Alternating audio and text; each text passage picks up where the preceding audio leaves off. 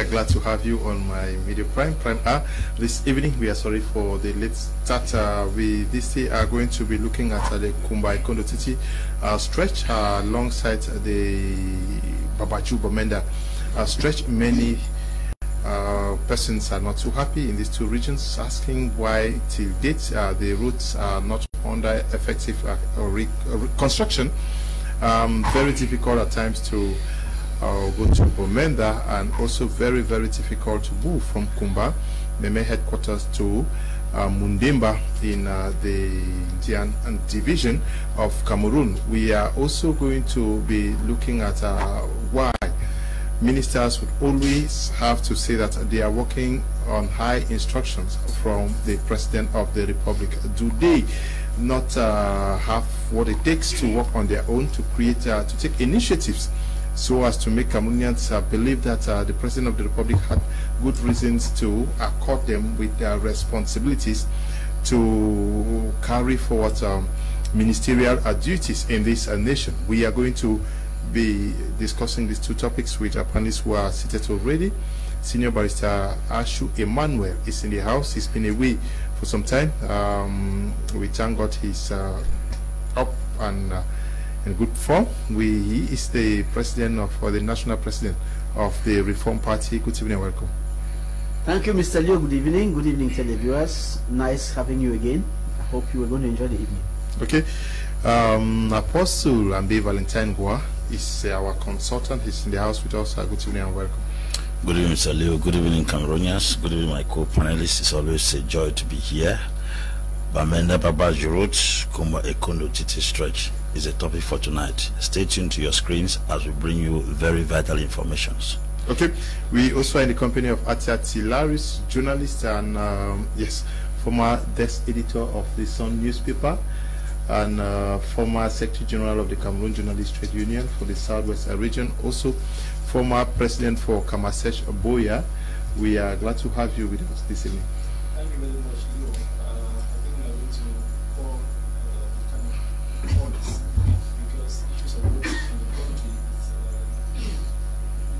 sacred cow where people go to share money uh, and not according to their life projects because a, a lot seems not to be going the way it should. Okay, we are also in the company of uh, Robert Malanfe. He is here uh, on behalf of the CPDM party. Uh, we are glad to have you. Uh, it's a pleasure. Greetings to you. Greetings to my co-panelists. Greetings to all Cameroonians, especially Frank Mbia. Uh, it's a pleasure for me to be here. are you of the Frankists? Uh, I just greeted all Cameroonians, and Frank Mbia is one of Cameroonians that I decided to give a special greetings to. Okay.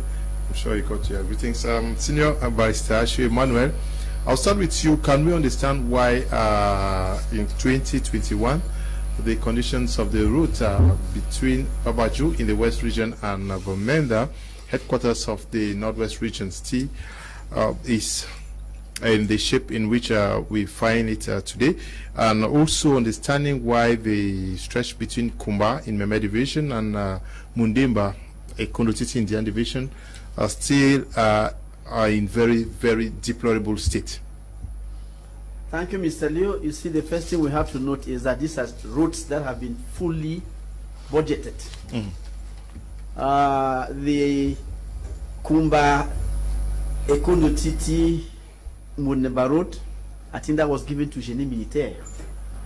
Uh, when that, when that, that project started, I was I had some matters at uh, Mundemba. I thought that they were going to finish it because at that time there was the Bakassi crisis. So it is really appalling that many years down the road, we are seeing this sorry picture of underdevelopment. Well, it is a failure in government policy because if a road project is handed over to a constructor, there has to be follow-up I don't know whether it's because it was given to a military engineering corps that cannot complain. Because if it is a military, they will say you have to wait for the, for money to come from the ministry. They don't vie for tenders, so you cannot classify them under the same uh, cap as the private companies like Razel and other, other the others. So I don't know who is in charge of that road now, but it is a sorry piece of underdevelopment to have that road in this type of state. I think uh, the minister in charge has some story to tell us. The company that is handling the road has a story to tell. They should certainly not go and tell us that it is because of insecurity because we have never had any ins instance of construction material being burnt. Uh, like as it happened in the Babadjou Road and it happened up north. Because the Chinese up north when they were constructing Boko Haram attacked their, their, their, their base burned down their construction equipment and they had to run away. This has never been the case in the Kumba Ekondo Titi Mundemba Highway and I don't think these people have any excuse not to construct that road. This is an area where you have all the materials available. The only thing they have to import is coal tar. They have to bring it to the region is coal tar. You have gravel there, you have stones, you have ground, you have everything. Their machines are there. So why are they not building the road? I want to feel that it is a matter of government policy. Because at times it can serve the government to leave a road in that state to slow down the approach of the enemy when we talk in terms of the Bakassi crisis. So it's my guess. I want to understand to be to believe that it is a matter of policy because if you're not policy, the prime minister comes from that area. Yeah, but he is a chief there. Yeah, How can he explain that the road leading to his chiefdom is in that sorry state? The prime minister? No. Mr. Leo, tell me something else. Yeah, I was going to say that uh, actually Génie Militaire took care of the road from uh, from uh, Mundemba to Isangele. They are the ones who worked. It appears there was a company that is uh, charged with uh, the Kumba uh, Ekondo Titi stretch. Remember, uh, some Turkish guys were kidnapped. The, the, the contractors that were working on that. I'm on not privy to that information. No. I'm So- not so- privy to the information. If they were kidnapped, I'm not aware. They were kidnapped, and uh, it is said that uh, they had to pay uh, 30 million francs for for their their their release Ransom. for their ransom, and one of them was killed. Yeah, yes, one of them actually had to die. But um, Apostle Ambe Valentine, despite uh, the situation, um, we have seen the government engage in some actions in the northwest and southwest region. Is it actually the fact that they cannot provide security, adequate security for these roads uh, to be done? And if that is the case, why not hand it to Génie Militaire, the, the, the military guys, to, to work the route all these years? When we talk about uh, by Kondotiti stretch and we want to attach it to the past five years of the Anglophone crisis is amazing. That road, the challenge there is older than Anglophone crisis. We should remove the Anglophone crisis out of context. Kumba Ekondo Titi stretch has been there for decades. Much has been spoken about the road, so we should not take cover under the Anglophone crisis of insecurity to pamper the situation. It's so bad that great elites have come from that particular environment. We have mayors and parliamentarians from that environment who drive to those villages from time to time. They go to the parliament. The worst of it is that recently the prime minister is coming from that same environment. I am sure if the parliamentarians and the mayors did not have the power enough to influence the construction of the Kumba Ekondo Titi stretch, with the appointment of the prime minister, a son of that Bongongo village, from that particular stretch, it was supposed to have been a sign that something dramatic has taken place in that region. Remember one time I said here that the kind of geopolitics practice in Cameroon is very funny. A few persons are picked in particular regions. They are well fed at the expense of the masses. We just get excited that a prime minister came from our place. We will have had several prime ministers from the northwest. The Bamenda Womb Ring Road still remains a mystery. Let me say it. These roads are abandoned because they are very strategic. These are roads that link Cameroon and Nigeria in business. And these are roads that have a very pivotal role to influence the economy of these two regions. And if at all these roads are properly constructed, much of the focus of businessmen will not be stretched towards this side. It will be focused towards Nigeria. That is the reason why we should not take the Anglophone crisis to compare the ring road or to compare the Baikono Titi stretch. It's a very serious problem. With the appointment of the Prime Minister right now, I'm sure in his position in office, with his position in office, he was normally supposed to have influenced the tarring of that route. It will shock you that when ministries went to the assembly to defend their budget this year, the highest budget was allotted to the Ministry of Public Works. Where is that much money that is given to that ministry taken to? Considering the fact that we are already in a crisis right now, they were supposed to have taken the advantage of this crisis as a means to appease the people, to do some things that have been agitated for many years and they have not been given. I think the government should hold its ministers responsible, just like they have done recently for the COVID-19.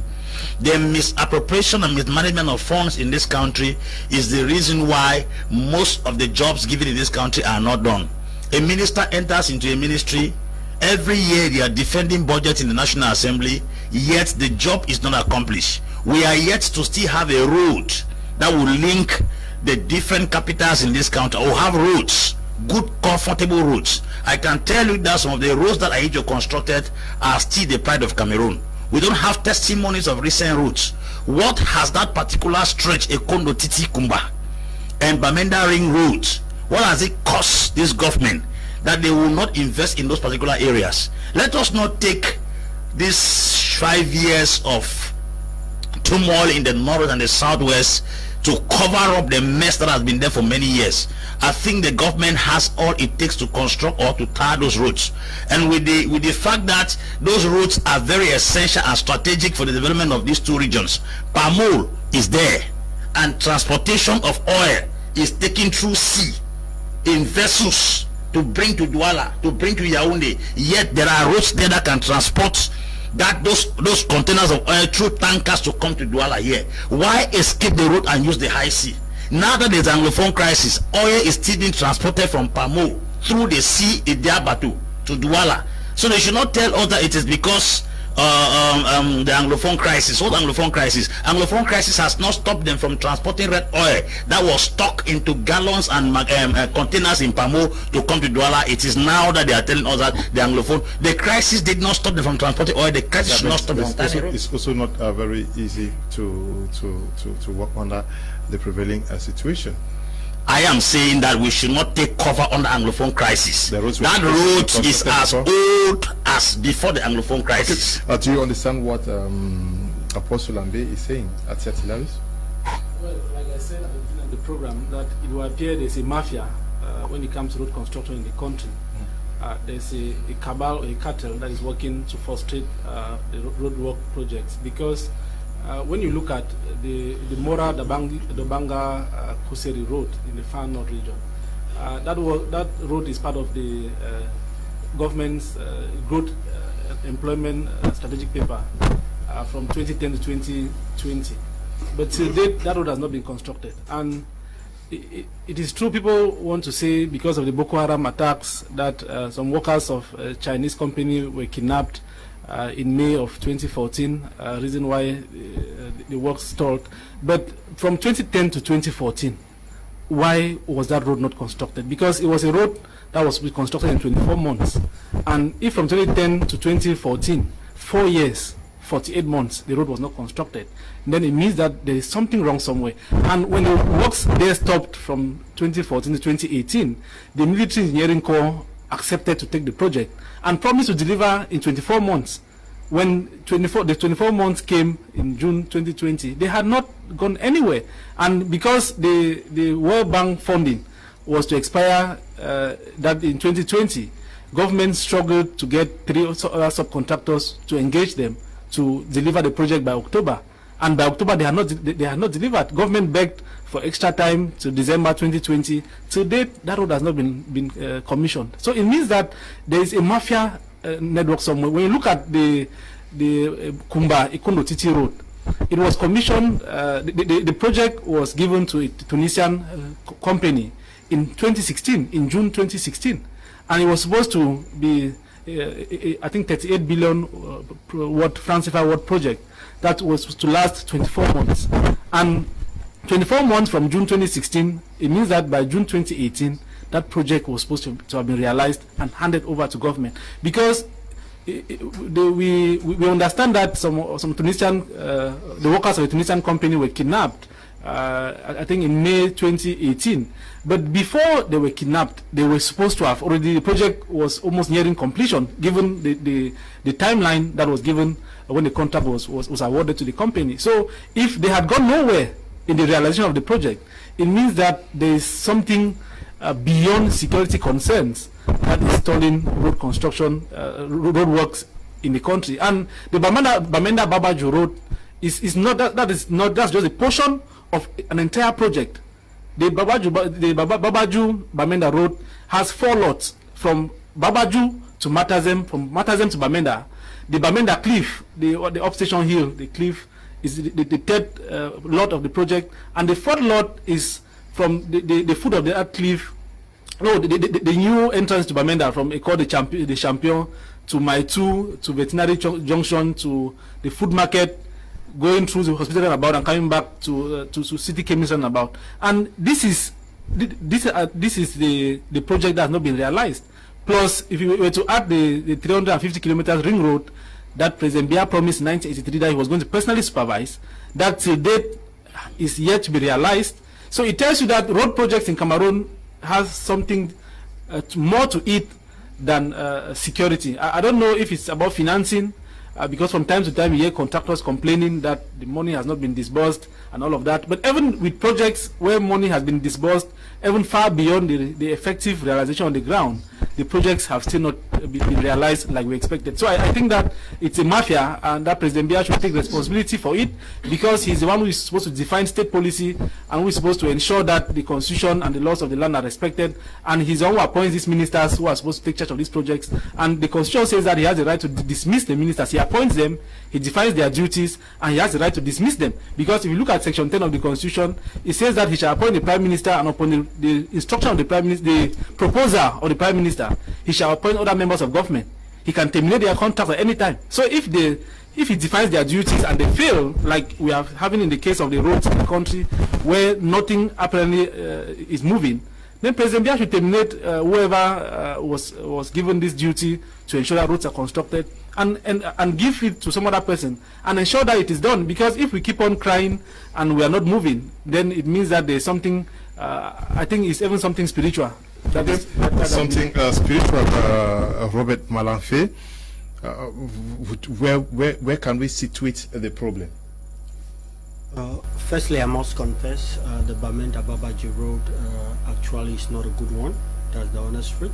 And uh, that is the entrance into the northwest region. The whole region is supposed to uh, be well constructed. But uh, we should be also realistic when analyzing all this because I've seen many people coming out to decry the situation of the road. But uh, before I go to analyze or to say what is the main problem with that particular road, we should also be honest to say it when we are there as English-speaking Cameroonians, that uh, the Northwest has one of the best net uh, road network. When I say one of the uh, best road network, it is very clear. From Mezam to Com Boyo Division, they have a road. From Mezam to Ngoketunjia, where I come from, and to Bui Division, they do have a road. And to uh, Menchum and the rest, they do have a road. So when we are analyzing, we should also look, uh, we should not uh, we should not analyze it and look at littoral. For instance we are in littoral. There's no road going to Cam to to Cam division. Yabassi Konjok and the rest they don't have. Not to even talk about the north region. They do have problems too of roads so I would not like us to take the issue of road to become very very political that would be knocking heads of people when it is not true when we say the road in the southwest region linking Kumba and um the Anekondo Titi, we say it's political because we don't want uh, business or to flow between the southwest region and Nigeria. It's definitely not true. the uh, uh, Buea, Kumba, and the Mamfe road going through a Ekok is constructed.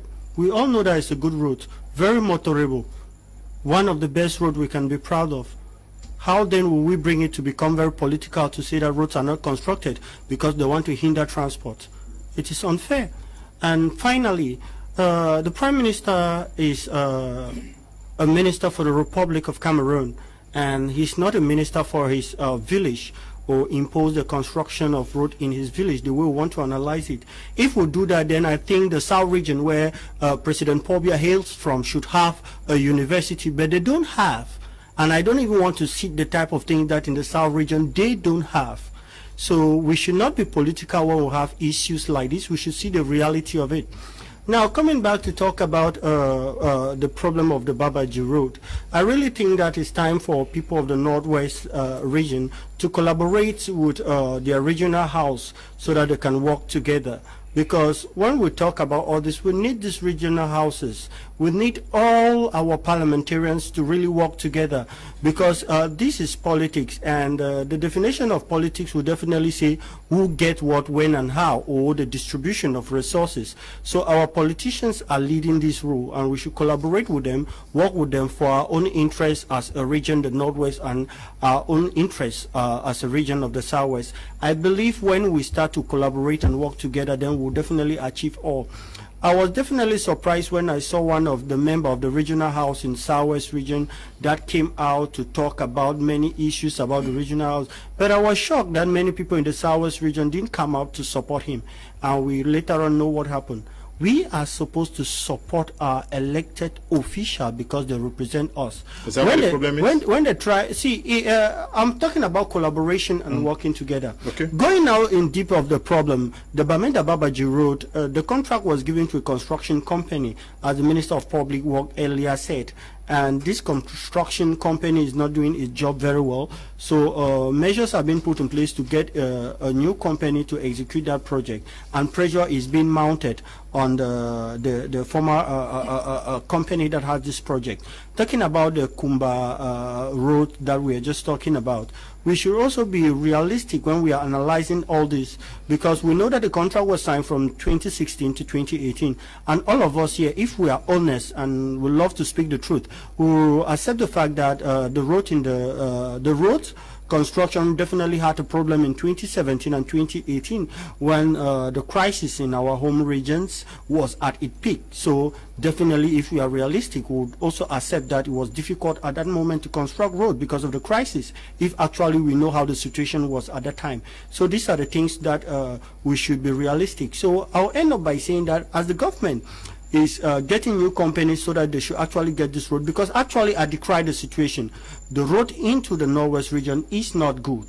It's actually not good and it's supposed to be constructed. Okay. But uh, let me land. But by the time the government is doing all its best to construct this road, I really think us as English Cameroonians should actually collaborate very well to construct this. The first collaboration is to actually tell the guys that have decided to pick up arms to create disorder and hinder the construction of this road to actually give construction a chance. I believe that if they stay away from this road construction, hindering it, I believe that the roads will be constructed. Why? All of us will collaborate with our uh, elected officials so that we can get our own share with Okay, regards to uh, politics. Senior uh, barrister, uh, do you think that uh, the government also, because he's raising the issue of insecurity and uh, we are aware of what is happening in these two regions, um, should the government not also uh, provide this, this, these uh, companies with the construction companies with uh, enough security?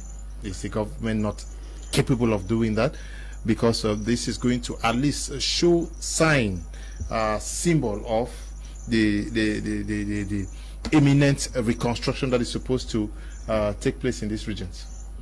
Thank you, Mr. Leo. I don't know which type of uh, knowledge you have of what is happening because uh, my uh, good friend Mr. Kedia seems to be of CPDM, but it looks like he does not know what his party is standing for. Mr. Kedia, a minister of state in this country,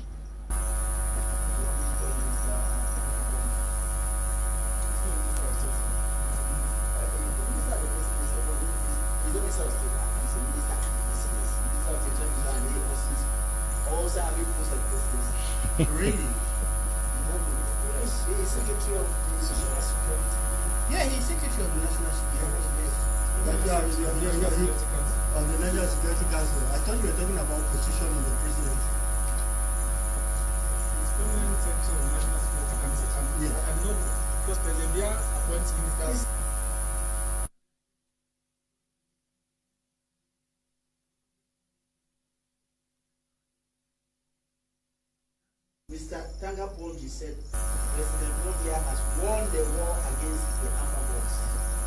So I don't expect CBJ to tell me yet that there is a problem of Amba Boys disturbing road constructors. The security issue is behind our backs insofar as Mr. Tanga Polji is concerned. I think he was speaking for you. Mr. Tanga Polji was speaking for you. That said, you raised the second aspect, which had to do with investment budget, because I heard you talking about uh, the, the area of the president's origin not having a university. Can I, should I rem- remind this CPDM representative again that the president's region that you are calling has an investment budget that is bigger than that of Northwest and Southwest put together. Should I remind you? No, but there's an international university in that Excuse me, region. sir. I'm talking about state am I doing that? university. He said there was no university. The university is there. state universities, I mean. The school of uh, uh, forestry, where is it? I'm talking about state Okay, university, you not said- you said schools. It's a university. And then you saw the hospital that they just inaugurated. That the minister just visited, the reference, reference hospital. And they said it was for the entire sub-region. So I don't know what you are talking about. I want to ask you, because we may be turning around, a question that is very simple. Is the money to ex- execute these projects really available? Is the money when they want when it came to building a hospital, how long did it take? Why was the project not halted? Because the money was available. It has come now to build Bamenda Babadjou. Please tell us the truth. Is there money? Because if there is money, that road, there's no reason why the road will not be constructed. Is there money to build Kumba? Ekondo Titi Muneba. Where is it? No, I don't. Don't show me money on paper. Do the constructors on the field have the money? I'm talk, talking to you about a project funded by the World Bank, for example. Bamenda Babajo Road is funded by the World Bank and the Cameroon government. And the World Bank is making sure that they give their part of the money. The, the, uh, the uh, Mora Dabanga Kuseli Road is funded by the World Bank. And you, don't, you, don't, you, cannot, you cannot tell me on this Man, panel that the World Bank is, is poor. seem to be living in Nigeria. No, I'm saying that the, the World is there money Bank, the World Bank is not poor. The World Bank has given money for the construction of the Mora. Let let let let let let let let let let let let senior barrister just land. If you look at the if you look at the images, No, no, no. You are here on the panel. Somebody should not be misleading. No, you are you are the one misleading people. you Sit down. Sit quiet. Sit quiet. Allow him talk. So when you interrupt me, you are taking my time. When you when your So, time when you clarify people, what he has allowed him to just speak. He has spoken so much nonsense here. Oh my God! No, he has spoken so much nonsense. Because if you want, if you want that attend if you want that style, we Wait, shall till not allow your you to talk. Allow him talking nonsense. If that's time, I will also interrupt you and you will say nothing. No, truly. No, allow him speak. Okay. When it's your turn, you want me counter. I will also disturb you. You will not talk. So It's simple. Allow me talk. No no no senior no no no no go go on senior barrister. Allow It's a him speak. can all play. expecting your greatness, sir. Please. You, so you, you cannot make it a point of policy each time I want to talk. You can me. No, it's not possible. So as I was saying, the security question, security question should be put behind the back because a minister in this country who is who hails from the northwest has said that the president has won the war against the Amba Boys. So there is security in the in so, so far as the government is concerned. And uh, when I look at those images, those are the images of Papa You say there is money. Why is the road, the road not being constructed? And I ask you, why is it that the uh, hospital in the south has been constructed in record time? Then when it comes to Babadjou Road, for two years now, more than two years now, it is hanging. What is the problem? Is it that we don't have competent uh, uh, engineers? Are you putting the blame on engineers? I am asking the question. Look at the COVID day. If pressure did not come from us, I would every any person have raised a small finger. That may be another place where money is being siphoned. So I'm asking, you say whereby finances. Yes, WHO, the same whereby uh, uh, IMF financed uh, COVID gate, but until they raised the alarm, nobody knew that the money was not used properly. So this one like this, we have money on paper. Do the contractors on the field have money? Somebody has to tell us that. Otherwise, I don't see why because if we look at the importance of the North Northwest region, there is no reason why the government will not consult that road. The reason is elsewhere. So that's why I say it cannot be security, it cannot be government policy, it can only be financial misappropriation. Something is happening on that road, and we have to do it.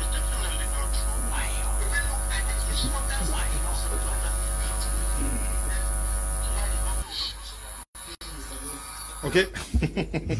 okay, I was uh, trying to verify because I, I, I had many messages from you guys that there was no sound, so I wanted to be sure uh, to know uh, where the problem was. But now um, you have some, you, you are taking some notes there. Taking notes. Yes, I was taking some notes. Uh, first, Robert said that the president's region does not have a university. Error number one. The lone digital university in Cameroon with ultra-modern structure and well-equipped laboratory is found in Sangmélima. There are about 300 students from Congo, Brazzaville attending that university. So for him to sit on a panel with well-advanced people who are enlightened and speak trash it's a very serious offense. That is a university. It's called Digital University. It is found in Sangmélima in the Ja and Elobo division. Number two, Ja Elobo division is the division with the highest budget in Cameroon. If the roads are not tarred, it's the irresponsibility of the mayor, parliamentarians, and the senate in that region. It has nothing to do with the absence of budget. He spoke about the Kumba-Mamfe stretch. The Kumba-Mamfe stretch was not done by Cameroon. It was done by the Trans-African Corporation, which is a gift to the Cameroon. Why should Cameroon or anything done in Cameroon successfully be done as a gift?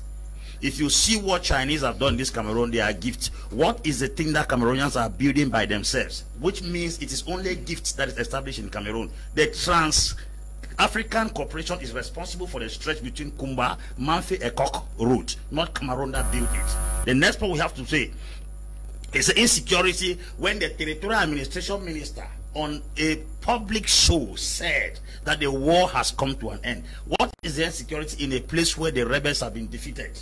They should keep that drama of public announcement without verifiable proofs aside. The next thing he says, the, the, the, the, prime minister, I, I- heard Atia said the prime minister, according to the constitution, one that proposes ministers. Among the ministers in Cameroon, the prime minister doesn't propose any. That is the reason why, even though he's coming from a particular locality, he is unable to even give the opportunity for a stretch of road for say 100 kilometers to be that. What is the benefit of somebody to be appointed a prime minister in a region when Kedia says that he's a prime minister of Cameroon?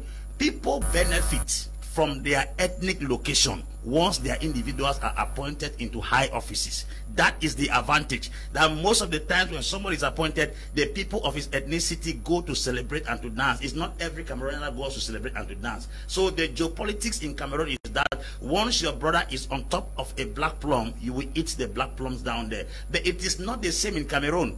Most prime ministers have come from the northwest and southwest projects declared since 1983, the ring road, with all ministers that came. Simon Achidi Achu came from the northwest. Philemon Yang came from the northwest. And uh, I'm sure that's the two. And then we have Dion Ngute from southwest, Peter Mafany from southwest, and uh, uh, Inoni from southwest, with the five prime ministers who have come from these regions. The roads from Kumba, Ekondo, Chichi. Let us say Mafany came from Fako. Inoni came from Fako. This one now is Indian son, actively in office. Yet Kumba Ekondo Titi stretch is a total mess. Have you seen people enter bikes for seven thousand from Ekondo Titi to Bongo Bamuso? A stretch of about 30 kilometers. The transport fare is something else. Others go down and carry vehicles instead of vehicles carrying passengers on a road in this Cameroon. When we have budget allotted to councils every year, 50%, 15% of the budget is given to councils to tar roads. For how many years have this council been receiving this budget and these roads have not been tarred? We are talking about insecurity. The Englishman said, make hay while the sun shine. Why did we not tar these roads earlier before the crisis even break? I have said it on this platform. Nobody should take pretext and hide under the Anglophone crisis to defend their irresponsibility and their lack of consciousness and national reconstruction. They should take up responsibility that they have failed and they should do everything possible. Okay. Thirdly, Mr. Liu, Cameroon has Oko Génie militaire. It is civil engineering military base, which means they have the capacity to go with their war tactics and their machineries and construct. In scripture, they stopped Jeremiah not to build the walls of Jerusalem. He placed military forces everywhere and he was constructing the walls of Jerusalem when there were people who did not want it to be constructed. How can you tell me that we have a construction organization in the military, yet it cannot be exploited in times like this? What are they doing there? Hmm. Okay, what are they doing there? Good evening, Mr. Liu and crew. Road construction in Cameroon is a whole mystery difficult to unravel. Even when a road is said to have been done, it is a shadow of itself looking like a plastered wall that won't last. Uh, Cliff Ofung Mangwa, writing from uh, Bamenda. Good evening to you, Cliff. Uh, good evening, Mr. Liu. Uh, stop the calls, please. Mr. Liu, the government of Cameroon is uh, not serious. What is left for them now is uh, to auction the country. Okay, Fred Fang is writing from Mutengene. Hello, good evening. Everyone uh, in the studio, let's not be hypocritical. Those who stopped the construction of uh, roads in Bonge, Kumba, Bamenda, Babadjou are our English-speaking brothers in the name of Amba Boys. And when they were doing so, we cheered them up instead of shouting at them to stop the nonsense. And to you, uh, uh, to you, some of you in the studio, stop making blames games. Uh, those projects were stopped by your uh, brothers in the name of Amba Fighters. So please reap what you sow. When your secessionist uh, fighters were burning the five trucks Satom, you cheered them up. No, a no company is willing to tender his proposal because of the boys. Amy C. Roger is writing from the United States of America. This one, uh, chair writing from Bamenda says, Good evening, Mr. Liu. I'm in Bamenda. We use these bad roads every day, but we understand what is happening. These armed um, bandits kidnap road workers, set construction companies, trucks, and caterpillars on fire. I'm surprised that uh, some people seem to be very disappointed that calm is returning to the northwest, thus to not see any problem of insecurity. What a shame. Uh, Chair, good evening to you. Yes, uh, some people, many more uh, writing uh, in that direction, uh, that uh, these roads where the road construction were stopped by the same sons and daughters uh, from the northwest and southwest region. Well, uh, I think that's a fact. Uh, we cannot deny that. But then we cannot uh, put the blame entirely uh, on uh, the Anglophone crisis or on the insecurity in the far north region, for example, uh, for the roads that are not being constructed in the country. Uh, I, I think that the, the first problem we have is the problem of corruption in the road uh, sector. Because globally, in Africa, uh, a, kilometer, a kilometer of road uh, is valued at 100 million francs CFA. But in Cameroon, a kilometer of road is 205 million francs CFA. So it tells you that there's there's something that is not right somewhere. There's something, there's a mafia that we are not understanding. Uh, Cameroon has a, a, a, an entire road network of 1,000, uh, 123,000 uh, uh, kilometers of, of road network. And out of this number, just about 9,300 has been paved. And in the northwest region, we have 4,200 kilometers of road. And out of that road network, just 350 kilometers have been paved. So when KDR says that the northwest region has good roads, I begin to ask myself, where are the roads? Where are the roads? In some regions, we have roads that linked to cemeteries because their sons or daughters have occupied the portfolio of road construction or and, and all of that. We, they, they construct roads and even take them to the desert. But in the northwest and southwest regions, we don't have the roads. The roads are not there. Because uh, when uh, Apostle Ambe says that councils should take responsibilities, it's not possible. Because Cameroon roads are classified into three categories. The national roads, the uh, regional roads, and council roads. And as it stands, a council cannot trespass. We had, uh, uh, there was once uh, Mayor Kima went to around the GC board office area and mounted sp- speed brakes because of so many accidents. And and, and, and when when the, the governor learnt of it, he gave an ultimatum that those speed brakes should be taken off.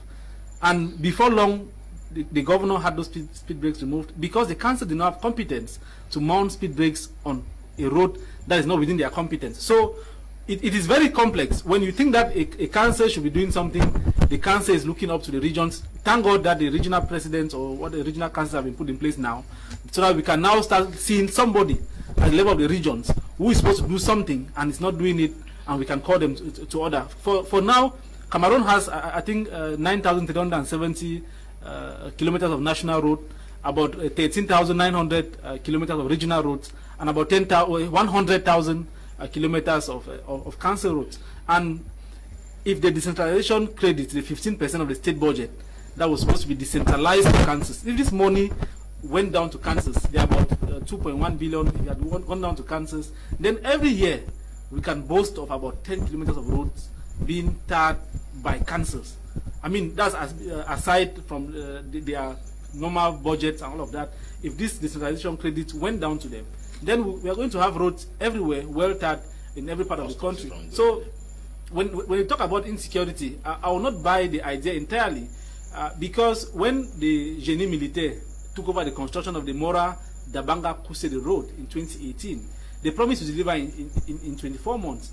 But I don't know if bet- uh, from 2018 to 2020 there was so much insecurity that even the Génie Militaire, that's a, a, a, construction wing of the military that was uh, founded in 1962, that the military itself will be complaining of security. It means there's something else that Cameroonians are not being told because we cannot say that Génie Militaire will be in charge of a road project and then turn around to say no because of security concerns, uh, because of Boko Haram incursions, they cannot construct a portion of road. So I think it, it goes beyond uh, security or insecurity as they want to put it. And for the north, for the road, the Babadjou, Bamenda Babadjou road, the Minister of Public Works, the, when the crisis, he, he relaunched the project uh, in in 2017, in, on, on the 16th of May 2017 in Santa. That's when the, that, that roadwork was relaunched because the World Bank had given 113 billion francs CFA to support the project. When he relaunched the project and later on they said there were security concerns, that was in September when uh, the Sogea Satom, I think, abandoned the project because of attacks from separatists and other non-state armed groups, and they abandoned. The minister said the, the stretch of road from Babadjou to Matazem was going to be constructed because uh, there was no security problem at that end. And till date, that road is, uh, I think, the, the, stretch from Matazem to Babadjou is about 35 percent completed, and they have only done earth, works. They have only done earthworks on that road, and it's at 35 percent completion. So it means that something, uh, I think, sorry, 38 percent completion. So it means that it is not only about the insecurity, because before the insecurity crept, uh, uh, crept into the, the, the, the west region, there was time enough from 2017 to, Okay. to about 2019, Okay, end I 2019, Okay, for this road to be constructed. So the state should tell Cameroonians the truth Okay. that it's not about insecurity or uh, the availability of funds. It, there is some other agenda that, for me, I think is spiritual or occultic. Hi, uh, the media crew. I salute your endless efforts to whip out uh, ignorance from the minds of uh, downtrodden. My comrades of the ruling uh, sphere speak more of literature than the factual reality. I mean, it speaks more of appearance rather than uh, reality. I think the issue in Cameroon is a cause-effect affair. The crisis in the northwest and southwest stem as a result of bad governance, ignorance as uh, is very devastating or dangerous. Okay, a philosopher Amberson is writing from uh, Yaoundé. Now, um, don't we think that, irrespective of the security uh, situation, um, these roads should be now placed as, as priority projects for these two regions?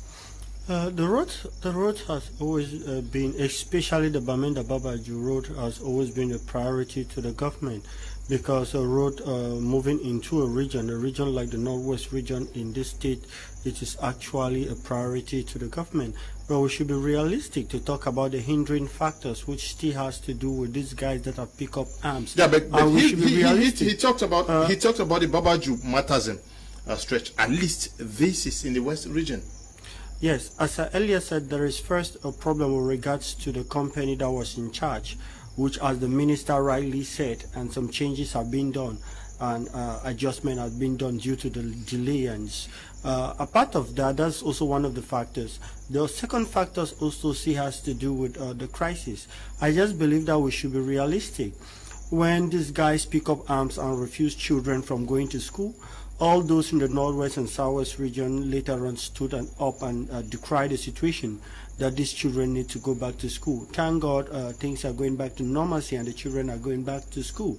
And I still think this is an opportunity for all of us to stand up together again and uh, ask these boys to permit uh, the constructions of roads and let them stay in the bushes where they want to stay. And if they have any problem, let them meet the military as they love to, but they should allow the construction of roads, which is uh, one of the fundamental human rights that the people deserve from their government. Uh, when I earlier said that um, there is no university in the South region, I actually meant it and I still say it. For instance, uh, we have uh, insect is found in Kumba. Will we say there is a university in Kumba? No, there is a department, there is a school of the University of Buea in Kumba. So when we see uh, these departmental schools that are being opened in the South region, being opened in Ebolowa, Bertoua, we should not come out to say things the way we are saying. It is not And I and, and I still repeat it. All professional schools are affiliated to to state universities, sir. All professional schools are affiliated to state university. Yeah, but- but- that makes You- that you- that you- that that that makes me, it. Anyway, me, let me not go into that polemic. Let me come back to yeah. oh. I'm not standing, sir. Thank Can you. All right, let me uh, proceed again as I was saying. We have a situation, we should actually accept it. One of the consequences that we had, uh, we have in the northwest and southwest region was because we simply stood up to decry certain conditions, which are actually true. The president himself said it, that there may be some problem, and it is time for us to forgive and move ahead.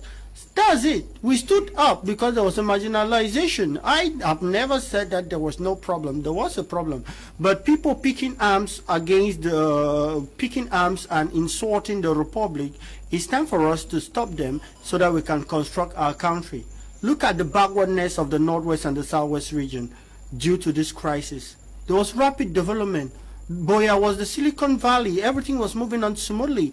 Now we are the ones crying. So it is time for us to tell these guys to stop all this nonsense so that we can construct our region. We should not play around because we want to look good in front of these guys, knowing that if you condemn them, you will not go back to the, you will not feel free in the northwest and the southwest. I am condemning them and I'm still going to the northwest. I was there last month and I'll keep on going there and I'll keep on condemning those that have picked up arms against the state because they are the one delaying the development of our two regions. I'll keep on saying it no matter where, anyhow, I will keep on saying Okay, this. we'll keep on uh, saying that. Um, greetings to the panel. Uh, thanks for the great insights. Uh, blaming the root situation in the country on insecurity is merely looking for dry branches to hang on. Atia insists uh, the problem may be spiritual. Is he suggesting we need national deliverance prayers uh, for our roots? if so, we should take the lead. Uh, Ima Nkong, writing there from uh, from from Buea. Good evening to you, Ima. I'm Mr. Kingsley Ndiwa watching from Libreville in Gabon. I like your program. Let that uh, man stop uh, saying lies. Thanks uh, to Barrister Ashu and Apostle Ambe for telling the truth. okay, uh, good evening, Mr. Leo. How can this you be telling lies about the construction of roads which was given out uh, before the crisis? When I see young men lies, I bleed. And if an old woman is seeing this, Nelson is writing from Holland. Yeah, but Nelson, we have uh, rights to opinions now. Good evening to you all. Uh, Mr. Liu Keja is not serious. Ask him if there is uh, Amba Boys in Nsimalen, Yaoundé, Otoro. Andy is writing from Cyprus. Good evening to you. Good evening, Mr. Liu. The money sent uh, to councils for the construction of so much, like, uh, for example, since 2017 money had been sending to Santa Council, but the mayor had done nothing with the money with the construction of roads. Uh, he uses it to buy his car. Eric is writing from Momenda. Yeah. Good evening, uh, Mr. Liu. Courage to you all in the studio. How can uh, someone say talk of insecurity when he has said it is uh, on this platform that everything is under control? It's Elvis Brown writing from Shell, New Bell. Good evening to you, Elvis Brown. We are talking of reconstructing these two regions. Should the construction of these uh, two routes uh, be the symbol of the actual reconstruction of the, the regions? Because if we want uh, contractors to get in, can, should we not start by fixing these roads? Mr. Liu, mm. let us face facts. Mm. This government in place has a proven track record.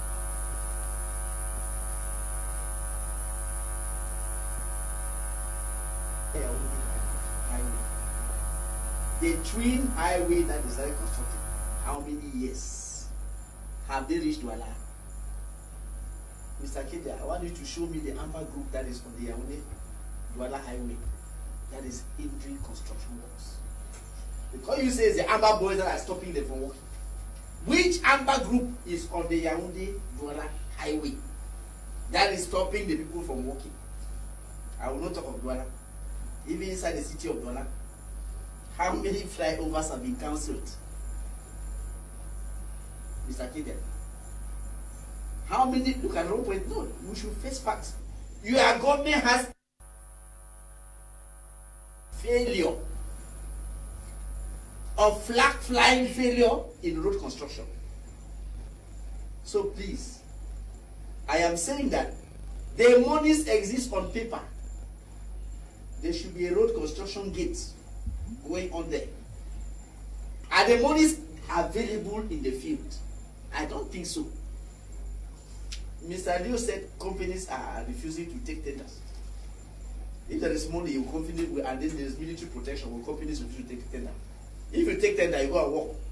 Six, six months, they don't give you money. Will you continue working? There is a problem there, and that is look, what has stopped work on the what has caused the work on the Douala Yaoundé not to progress? It's the same thing that is affecting Babadjou Bamenda. And I think that they should not try to, to blame it on insecurity.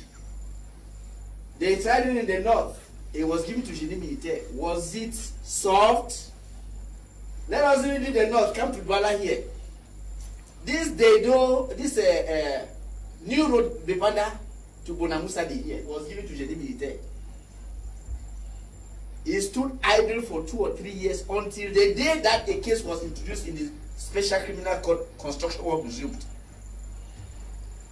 Misappropriation. Even in the military, misappropriation. the moment that colonel who was heading the construction was taken to TCS.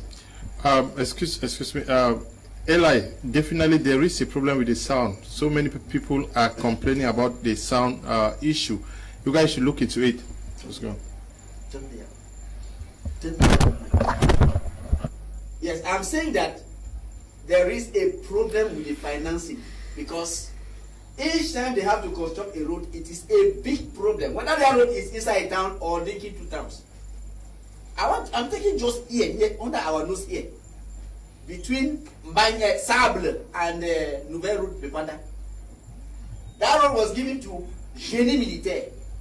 And it was abandoned for they did one small part and abandoned it for years. But the day that colonel was taken to special criminal court, construction was resumed until we started seeing a road. There is something in that Babaju place. They are not telling us the truth. There is something that that money is disappearing. They should show us where the money is. The money is disappearing. Don't put it on Amber Boys because we know that the army can contain Amber Boys on that road.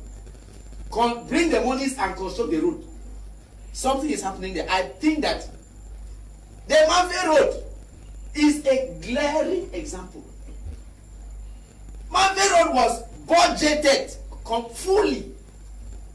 At, was it Kojifa or Satom that? Satom and Kojifa and Dewu. That road was fully budgeted. Satom constructed the flyover.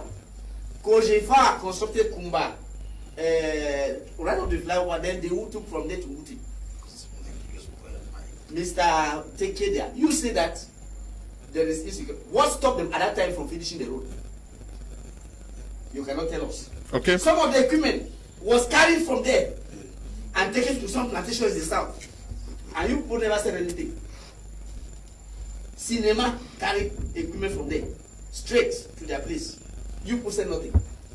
You want to tell I say it is misappropriation. That money meant for that road is not being applied for the purpose.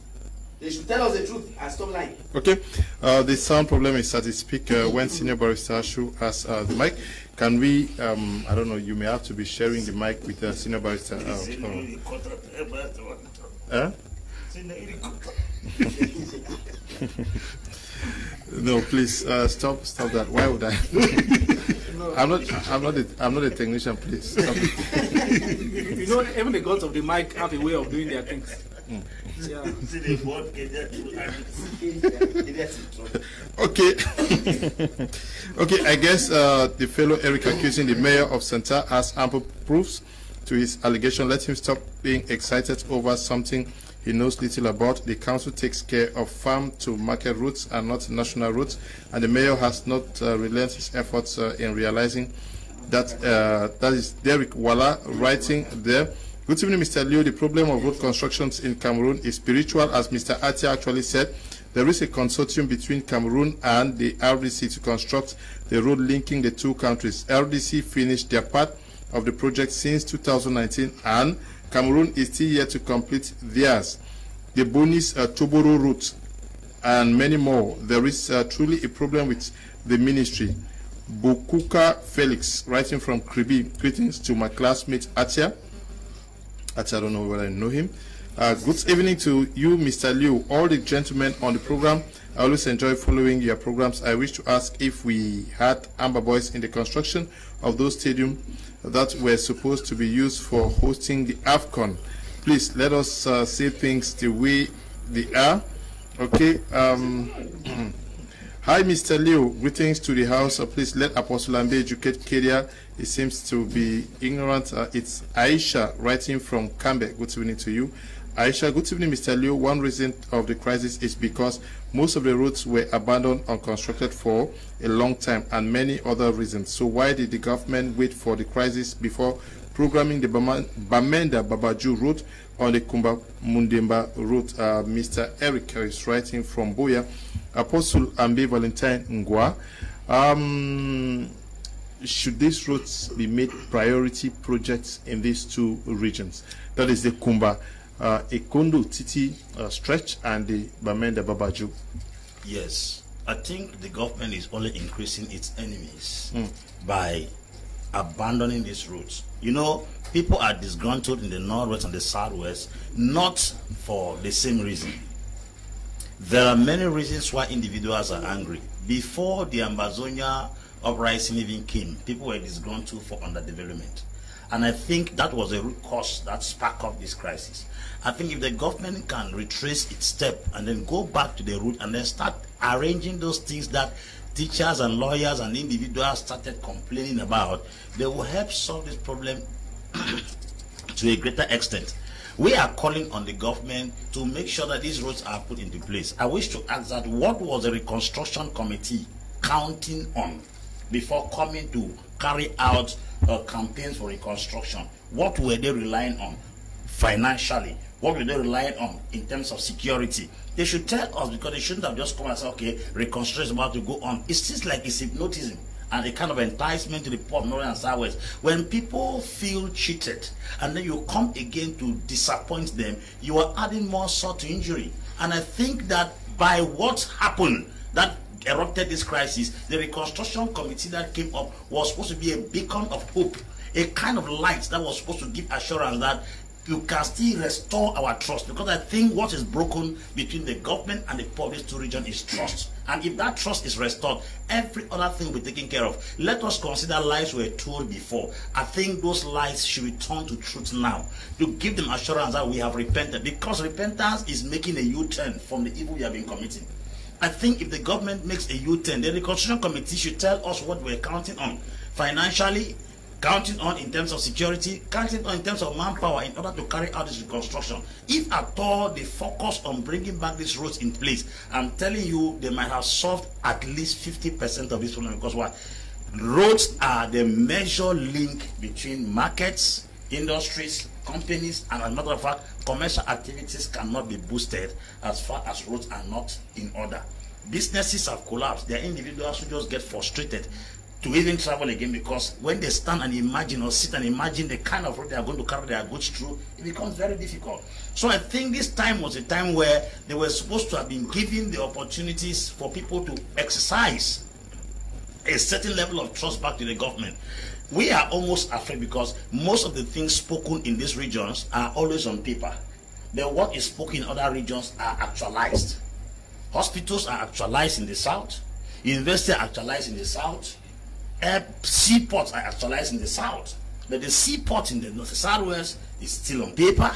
The, the other things are still on paper. So I think we should get into action to convince the masses of the north and the south that we are not just living together, we are eating together. And if they emphasize or they lay emphasis on constructing these roads in the north and the southwest, I'm sure they will give a, a sense of belonging. Because I think what is missing now is like a child in a family who feels like he's not part of the family. The father has a responsibility to give this child assurance that you are part and parcel of this family by giving the child the privileges that he gives to all the other children in the house. That is wisdom needed to curb what we are going through right now and to even think of the fact about security. There are forces stationed in all, almost everywhere in the northwest region. That is enough security. We know that there are some particular places where the tension is very high. We could say, okay, those environments are too hot for now. Let us go to the environments where the, the tension has been cracked down to a greater extent.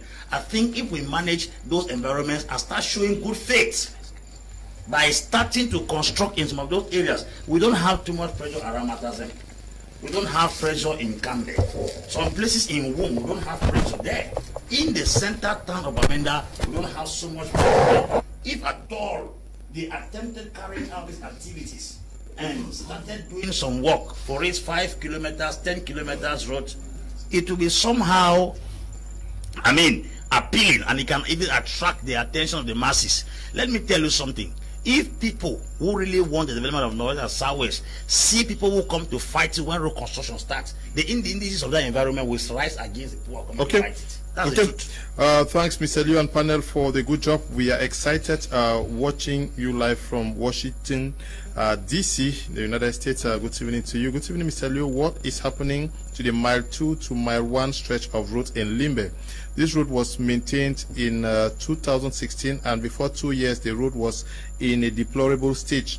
Now again, it's uh, under maintenance. That is uh, money which would have been used to construct the mile 4 Boya route uh, through Sase, which is dilapidated. Is this also because of Amba Boys? Uh, Lizzie is writing from uh, Limbe. Good evening to you people over there. I hope some of us, uh, youth, know what we are saying. Elections went on well in the northwest and southwest. Why is it only the projects that we are seeing, Amba Boys? Um, money from uh, writing from Bangem. Good evening to you, uh, money from Bangem. Mr. Leo, good evening. Uh, the debate in the studio is trading. The problem cannot be insecurity because everybody, we see the military escorting Brazilian trucks into town as well as petrol tankers. Why can they not also protect the construction of these routes? PM Da is writing from Bamenda. Uh, good evening uh, to you people in the studio. Thank you all for the great work you guys are doing. Please give the microphone that is uh, disturbing to Kate. okay, I, I hope that I hope that the problem has been fixed. Um, we've changed uh, barrister's uh, microphone. The- sacrifice mine to him. Okay. Yes. he did that. Yes. So that they should not accuse me of. Uh, I don't know. I'm not a technician. They say you're the I don't know how I can be doing that. Okay. Uh, Tilarus Atia, um, do you have the impression that government is taking these two uh, route uh, stretch as um, priority, and uh, the fact that they are not doing so is it fueling the anger in the population? Well, I think these roads are, are priority projects. Mm. Uh, they are priority roads. Uh, the Bamenda Babadjou Road, um, also that makes um, that is part of the Bamenda Ring Road. Uh, I think it's a priority project for the government. Uh, when Obadiah made his first official visit as president to Bamenda in 1963, he promised that he was going to personally supervise, and I think he should be reminded that the road he promised to personally supervise uh, has not been delivered like he promised. Uh, it is also a priority project because uh, in 2015 when they launched the uh, three-year development plan, uh, the Kumba Ekondo Titi Road was one of those projects in the plan. Uh, and it was supposed to be constructed in 24 months uh, a budget of about 38.5 thereabout billion francs.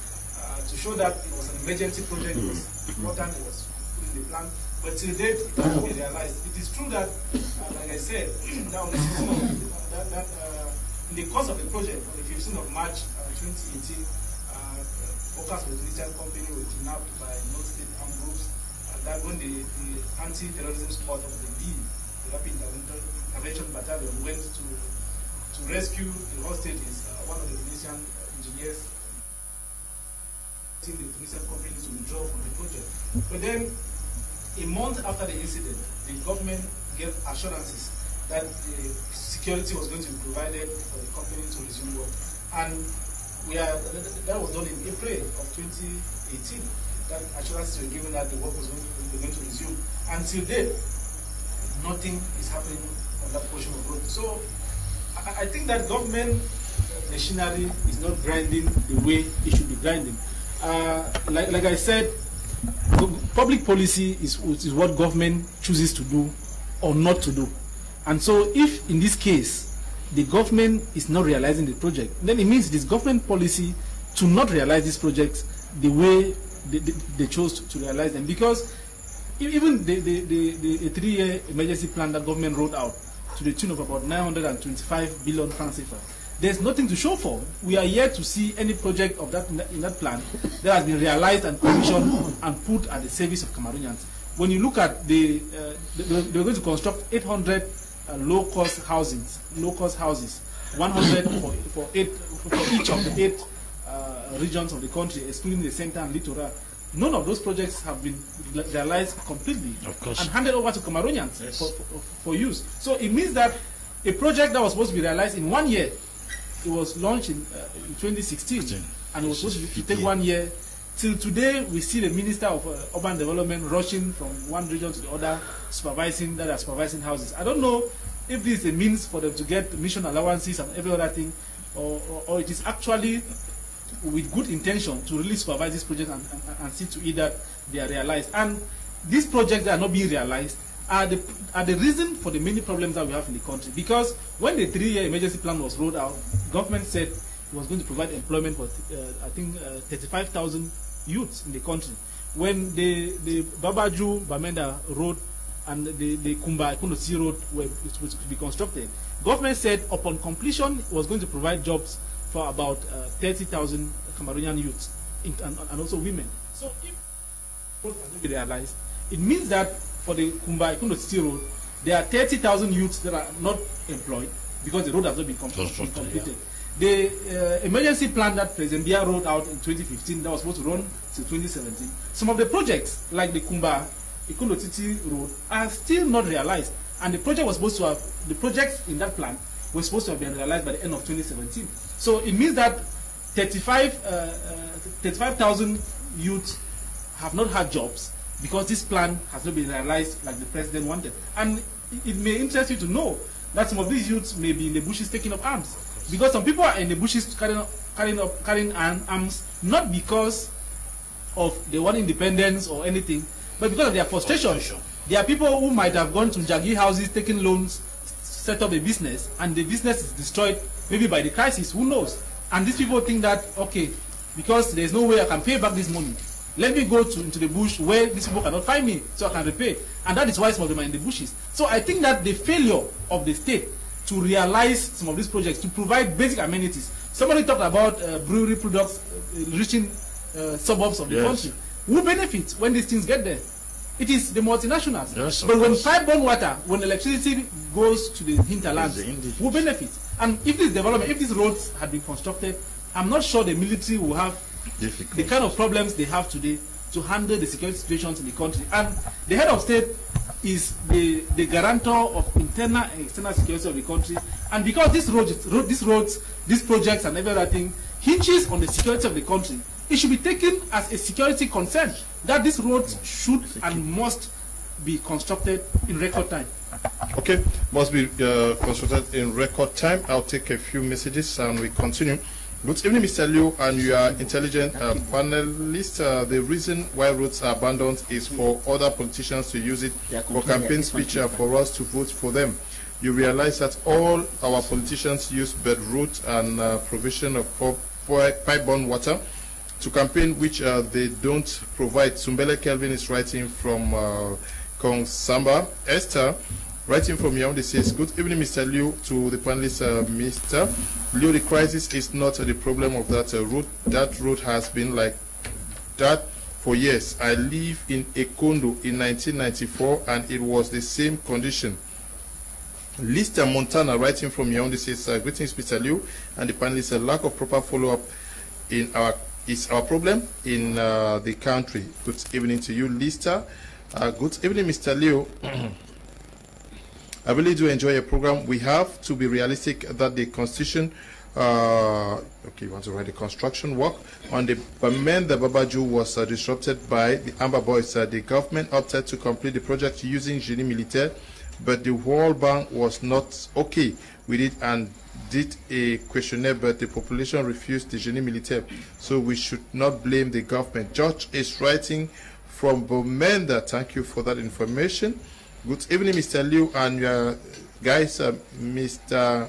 Ngo, writing from Pinja. If the government truly wants uh, to repair those roads, why can they not uh, deploy more military to protect the contractors during working hours? Many caterpillars have been burnt down because of security uh, reasons. Uh, happy to be part of the program, Mr. Liu. Keep on with the program.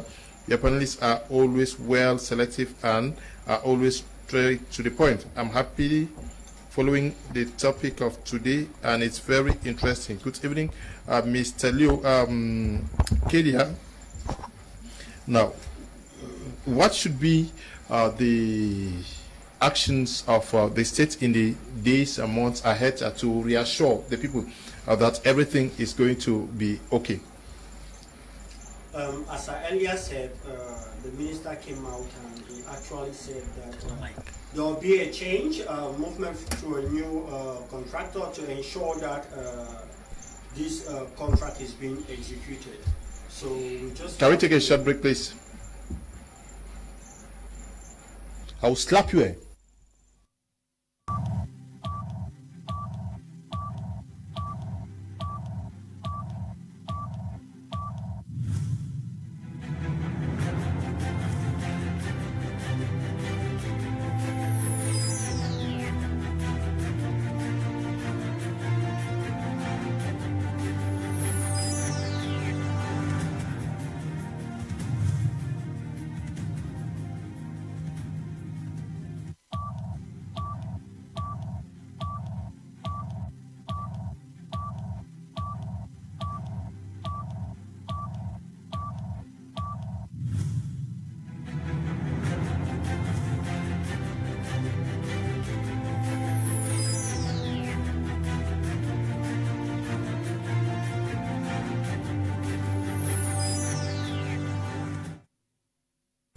Okay, uh, I was asking what should be uh, the actions in the next uh, weeks, and months uh, to assure the people that uh, effective works are going to uh, be done to also permit persons to easily flow into the Northwest region and Ndian division in the Southwest region. Yes, for sure. You realize that not only the movement of people from the west region, littoral, the central region to the northwest, we also have the movement of goods that leave from northwest to uh, littoral and the rest that feed uh, children that belongs to that region that they are now in uh, littoral and the rest. So the situation of this road actually, as I earlier said, is not good at all. But the government has put in place strict measures to ensure that the construction will be done. The new company that the government is working with, we believe that uh, with the collaboration, this road will be constructed. I call on all uh, Northwesterners of goodwill to collaborate. All citizens should collaborate with their elected officials. Uh, this will give an opportunity uh, for elected officials to work in collaboration uh, with the government to ensure that uh, this road is, final, is finally constructed. Please, I just want to be clear, uh, we should not take this problem to be very, very political. We already have many crises, we already have a present crisis, so we should not take everything to be political. The issue of roads should not become political or anything should become political. We should also know that there are other regions in Cameroon that have problems of roads, like the northwest and like the southwest region. We should also know that there are other regions that have problem of water and the rest. So please, we have a problem of road. It is a problem. The Bamenda Babadjou Road is a very serious problem. But please, we should not uh, politicize it unless we uh, want this crisis to persist. Instead, we should collaborate with the government so that this could uh, be constructed. We should also tell our boys that have decided to pick up arms that uh, they should understand that uh, road network is what uh, the people actually need. Uh, our people, our women are being transported through these roads to the hospital to give birth. Those that are sick, they actually use this road. Uh, this road is used for the transportation of uh, good that is needed to be consumed by still most of us that are origin from this region. So it is time for us to collaborate, work together, rather than politicizing the problem. Because if we start to politicize everything, judicial system will politicize it, uh, educational system will politicize it, roads will politicize it, everything will politicize it. Uh, uh, regional house are being put in place. We criticize them. When men of God want to talk, we criticize them and insult them. When our chiefs want to talk, we discredit them. Then we'll actually go nowhere. So it's time for us to collaborate with all our institutions empower our institutions so okay. that they will be able to fight for our own interests. Okay, okay. We are going to move straight to our second topic for tonight. Uh, sorry, um, the sound issues they are disturbing at times, so at times we have to. yes, um, we are moving straight to our second topic, uh, senior barrister. I we are asking the question whether ministers must. Um, work with high instructions uh, from the head of state to be able to do uh, their job. What then is their role as ministers? Uh, Mr. Leo, this is simply a question of personality cult. Mm. See, um, some people believe that once they are appointed, if you enter their office, they must you must have the picture of the head of state put in prominent position behind them, so that whoever just enters that door sees that picture and knows that this is a staunch supporter. In the same way, when you give something to them, please don't feel targeted. Oh. If something is given to them as a job, they want to make the world believe that all the credit that goes to the execution of that job has to be sent to the head of state. But they fail to see that if there is failure, it will also go back to the head of state. So it is a boomerang. You are appointed to a post of responsibility. You are supposed to assume that responsibility. You assume that office. Take responsibility. It is not Mr. Paul Biya who has to serve as SDO once he appoints an SDO. He's not the one. The SDO is his representative. When a matter comes before you, you, Mr. SDO, solve it. Leave pres president alone high instruction it changes nothing it is just a matter of personality cult which makes some some of these people feel that when they say like that the president will feel that they are supporting him But I want them to understand that that type of support, that is that type of lip service. That lip service goes to nowhere. Because by your very appointment, Mr. Biya has given you a mandate. So it, it doesn't serve any purpose for you to tell to remind us that is high instruction. If you say it was a low one, we would have understood you. But high one is that high instruction that appointed you there. So it is just a matter of personality cult. They want to be seen by the president as people who are respecting him, people who are making the president to be loved by the people. They are constructing a bridge over the Wouri. You are sent to come and inspect by high instruction of the president. I have come to ins inspect the the construction work on the bridge. Go look how work is going on the stadium. High instruction of head of state. Go preside over major national dialogue. High instruction of head of state. If head of state wanted the world to know that he was giving high instruction, why did he appoint you to preside? See, it doesn't make sense. I think people should uh, remember that when the president gives them an opportunity, it is for them to use their intellect to come out with solutions. Use your intellect and come out with solutions. Stop making reference to high, high or very high instructions received. In most cases, the president has not actually not given any special instructions in that case. They are simply just try, trying to blow their egos hmm. so that they can be seen as doing a very good job, Okay. Which Uh, is not even the case. Good evening, Mr. Liu, and all uh, watch the program Prince from Hellenic uh, Republic of Greece. The issues of roads in Cameroon has uh, ever been storytelling and play talks of, for political ambition. I think the government is not serious and has no vision for people of the Southwest. Uh, the, everything has ever remained promises and lies are telling. Uh, good evening, Apostle Ambe Valentine Ngwa. Now, is this also uh, a core symbol of the over centralization of power in the country? Mr. Lee, when we say firm instructions or high instructions, how high is this instruction? Because most of the high instructions are not obeyed.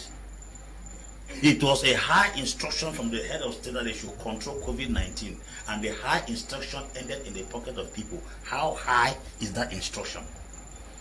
It was a high instruction and a firm one from the head of state that people should take uh, uh, uh, uh, distribution of properties to the, the, the battle regions, the north and the southwest. Most of that money ended in the pocket of ministers. How high is that instruction? Because when we use the president's name, because I, I am very objective, a lot of ministers take the president's name to commit their atrocities, like an ID card they use to carry out their atrocities in this country and then blame somebody who is not responsible. I think when they defend budget in the parliament, a minister is given a budget under his ministry to carry out the activities of that year.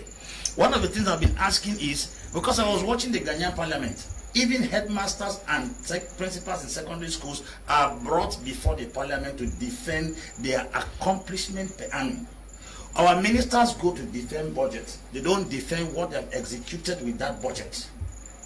Why do we defend budget to be given and we don't defend their Previous budget. Of course. Mm. Why don't they defend? Now, when they say high is instruction the head of state, when a, a head of state gives an instruction and the a- assignment is not carried, how high is that instruction? Because it's the president that gave orders in the Minister of Health to carry out the COVID-19 stuff campaign. 50 billion was stolen. Are you sure that instruction was high? It means it came from a high position and they lowered it at the level of the ministry. Do these ministers in this country respect and fear the president with the claim that he gave them high instruction before they still embezzle budgets that are given to them to accomplish major things? We are talking about roads when ministers can eat money that can take care of people's health. If humans' health doesn't mean anything to our ministers, do you think it is the road from Matazem to Bamenda that will mean anything to them? When subs- um, inanimate objects, when would they become important? When animate objects have no, no essence in the lives of people. So if we are talking about high instruction, to me, the president's name is used as a license to penetrate the and accomplish their self-interest. That is why you see the who have decided to say we are BIist, we are not CPDM. Because they have come to realize that there is a big gap between the president and these people. The activities they carry out in this country does not reflect the order from the president. In the days of Somo Sankara, Sankara will not give a project and you do not go to accomplish that project. Secondly, if the instruction came from the head of state, I am very, very sure a committee should be sent for everything that has been done to be verified. The high instructions for the construction of, of uh, stadia for to host the Nations Cup. Of course, which was mismanaged. What, what was it? What was the team? What was the purpose? What was it? If it came from the president, then I think a team was supposed to be sent to confirm what the president said. You cannot give high instruction without a verifiable reason. Where are the people sent to clarify the fact that this instruction was wrong? If you tell me an instruction is high, the, the, the, the highness of that instruction should be the obedience of the instruction, not the pronouncement of that instruction. Because a lot of people do the pronouncement of the high instruction, they don't do the obedience of the high instruction. So it makes the instruction irrelevant because it is high in pronouncement, it's not high in obedience. What makes an instruction relevant and it proves the authenticity of its source is when it is executed because a high hand gave the command. Not when it is pronounced as a high instruction, then it is downplayed like a trash when it comes to execution. Okay, Atia Tilaris, uh, uh, is this also actually undermining the position of the prime minister? He's the head of government, but almost every minister now makes reference to high instructions from the head of state, high instructions when there is a head of government. Uh, well, some of them actually thank the president of government at some point. thank the head of government. That's make allusion to the head of government as well. Uh, so it cannot only be reduced to the head of state. But then when uh, they claim that the instruction is from the head of state, uh, they always say high instructions. But believe you me, some of these ministers have never met the head of state. Uh, apart from the regular uh, New Year wishes where they shake hands with the head of state, they've never met the head of state. A few of them have had just about 30 minutes or thereabout sitting where the head of state is. Uh, I think that the last time that was in 2018 when they had a council of, council of ministers meeting at the presidency. That lasted for about 30 minutes or thereabout. And uh, the other, the only other opportunities that these ministers have, to some of them, to interact with the head of state is on National Day, where they are part of the crowd that goes to eat at the presidency. Uh, others uh, also have the privilege of sitting in the tribune when the head of state is there. Apart from that, that is all. No, very few of them have communication, constant communication with the head of state. So, oftentimes they come out and they, they deceive the masses that the head of state has said this, has said that. I said deceive because when they come for campaigns, they say the head of state has asked us to say this or say that. But then when the masses present need, for example, the masses have presented the need for the Kumba Ekondo Titi road to be tarred. They have said the Babadjou Bamenda road should be tarred. They have presented these grievances to the parliamentarians, the senators, the ministers, all those who claim to have contacts and communication with the head of state. And the head of state is here to react. It means that there is a gap somewhere. There must be something wrong somewhere. So whenever they say uh, on the high instructions of the head of state and not of the head of government, it is because these people have the impression that because the prime minister is appointed at 5 p.m. and they are appointed at 8 p.m., it is not possible that from 5 between 5 p.m. and 8 p.m. the prime minister would have been consulted. He would have brought a list. They would have scrutinized to see that okay, we appointed you at 5 p.m. Okay, come.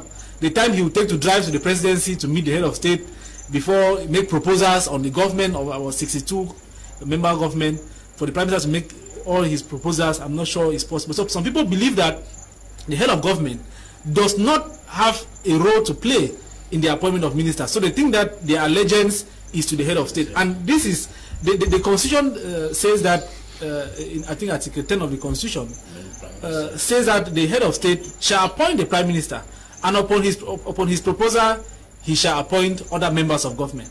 And they say the head of state has the sole power to appoint these ministers, members of government, and dismiss them whenever he pleases. So it means that the head of state mm, does not need to, for example, consult the prime minister again before he dismisses a minister. So that's why I think that when things are not going on right, it is the responsibility is laid at the footstep of the head of state because Article uh, 5 sub 2 of the constitution says that the head of state is the symbol of national unity. That's why you see his effigy in every public office. Whether it is the SDF that is using the Bamenda Congress or the head of state's effigy will be placed where it is. Whether it is uh, the UPC who is mayor of a council, the head of state's effigy is there not because the, he's worshipped as an individual, but because the constitution says that he is the symbol of national unity. So as a symbol of state, just like the national flag that is a symbol, it is placed in all public buildings. So Even and other th- that same provision, Article 5 sub 2 says that the man who is a symbol of national unity shall define the policy of the nation. And if the policy of the nation is that roads are started, construction started in 2010, and in 2021 it is not realized for something that was supposed to take two years, then something is wrong somewhere. We cannot keep on saying that the instructions are from the head of state when it is for good things, and when it's for when it, when it, it goes bad, like the COVID gate, nobody is bold enough to say no. These instructions are from the head of state. So it means that whenever they say the instructions are from the head of state, they may be lying, and if they are lying, they should be exposed. Okay. And the only person to expose them is the head of state, who has that power to appoint them and dismiss them. Okay, good evening, panelists. It is uh, quite unfortunate the Cameroon government had not taken roads as a priority. Come to think of uh, the Bamenda Wum route uh, to be supervised personally by Puga himself is now history. The Amba boys uh, should not be blamed. One quarter of roads in Pretoria, South Africa are more than roads in the whole of Cameroon because they take roads as priority. Countless flyovers are any country dreaming to emerge back on roads network. Bad governance is uh, the problem. Uh, good evening to you and thank you for the your participation. Uh, hello, good evening. I'm uh, Philemon Mbu. Please, why is it that uh, in Cameroon everything comes from the president? What are the ministries doing? Are they not uh, the ones to take projects to the president or tell the president things to be done in their various ministries? Basically, nothing can be done if everything is coming from the president. Yeah, is this not also do you do you, do you Ju- just to add that the, the constitution says that Biya appoints them and defines their duties. So it's not, it's not possible for a minister who is appointed to start acting because the constitution says in Article 10 that he will appoint them and define what they should do. So whatever they do is what the president has asked them to do. That's my imagination, except maybe uh, the COVID gate that the Biya might not have asked them to go and embezzle money. You I'm not this- sure. okay? Yes. Um, the first thing we should be clear with is that uh, the people of Cameroon elected uh, His Excellency President Paul Biya. They did not elect ministers. And so the constitution permits uh, the President of the Republic to appoint, uh, with collaboration with the Prime Minister, to appoint these ministers to execute his uh, his electoral promises to his people.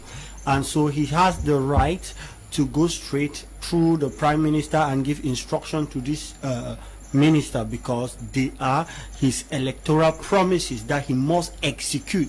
That one is not anything that we negotiate about. That is what is done in any country, in all countries in the world. Now, talking about uh, the, the the ideology of high instruction from the head of state, uh, please, we should not come out to say that all decisions from ministers or all decision ministers take is uh, over high instruction from the head of state. No, they receive high instruction, yes, but we have ministers also that uh, have their own private initiative that has also been welcomed by many people. We talk about the minister of secondary education. We saw how she uh, to to cut away corruption in school milieu. He decided that school fees should be paid in uh, in the bank. That was her initiative that we need to upload. And many other ministers do have their own initiative. Now, talking about the president of the republic giving high instruction, yes, we should not forget that. Uh, the president appoint these ministers after looking at their moral decadence and value. But we should also know that change is constant. So if the president look at moral value and appoint ministers and later on these ministers that had good value and they were appointed because of that, they tend to become very corrupt. Moral we should not, values. uh, yes, yes, yes. Uh, they were appo- they appointed based on their moral value. That is one of the uh, uh, options that the president uh, decide. But if after the appointment they decide to engage into uh, embezzlement, the president would definitely uh, send uh, uh, allow justice to take its course. Why are all of us here not saying, uh, uh, coming out to be very clear that uh, the audit that has been that took place on few uh, days ago is instruction from the head of state? We have high instruction from the head of state that have sent many uh, former ministers in prison, be it from uh, uh, uh, the presidency, be it minister of finance. They are there auditing. High instruction from the head of state. So we should be realistic when we are analyzing all these things and to see that these are the instruction the head of state have taken and it is very correct.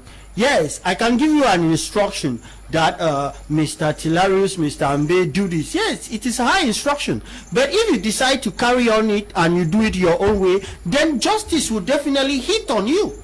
So if uh, the head of state give an instruction and they go astray, are we- are we then they should be aware that justice will hit them. are then there is also something I want to make it clear. Okay. We also have a minister delegate that are based at the presidency that naturally they get instruction also directly from the head of state and also from uh, the prime minister. So we should be able to distinguish. We have ministers. Ministers get their instruction from the prime minister. But we have minister delegate that are linked with the presidency, that collaborate with the presidency as the way their ministry is being spelled out. They collaborate with the president and they receive high instruction directly. It is very, very clear. So we should not mix all these things up.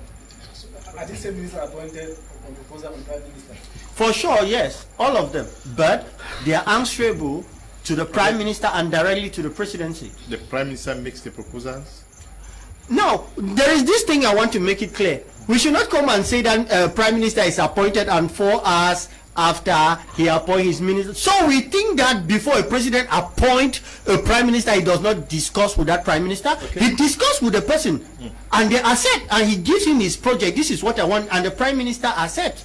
And after that, the prime minister is appointed, Uh, and uh, before his senior- appointment, they have collaborated and they brought out their list. So we should be aware of all this. Okay, uh, Senior uh, Barrister, can we also say that uh, because of this, initiatives are killed, people are afraid to take, um, to venture into doing what they think is right because they may contradict what the, the source of the high instructions always. Yeah, thank you, Mr. Leo. Uh, before I reach that, I, I touch that part. I think there's something I want to clarify. We should not confuse the emblem, the, the, the symbols of the state, with the symbols of the institution of the organs of the state. The state has three organs: the executive, the legislative, and the judiciary. The executive has as head the president. We also have the judiciary that has uh, its own head. We also have the uh, legislative that has own head. So if we have to use people's pictures to represent the state, it will not be Mr. Biya alone. It will be the president, the president of the Senate who is second in command, and then uh, the man of the judiciary. The, the state, the symbols of the state, the national flag, and what many people never even think of, the coat of arms. The coat of arms. Many people never even think of it. You see, those are the symbols of the state, not somebody's picture. The president is the symbol of the executive, sir. Not the state, the executive. The symbols of the state, the national flag, the coat of arms. So I think we should have that one clear. Now, uh, you just asked a question which depicts the very nature of the Cameroonian civil servant. Mr. Liu, take a document, go to any government office here, right down in Douala, ask them to sign you a commitment. That document will travel right up to Yaoundé. Nobody is ready to sign any commitment in any government office. Try this. When you take it and say, this has to sim- go to my boss. That boss, next boss. I have a matter in the Bonaberi Court of First Instance. It was adjourned for the legal department to present written submissions.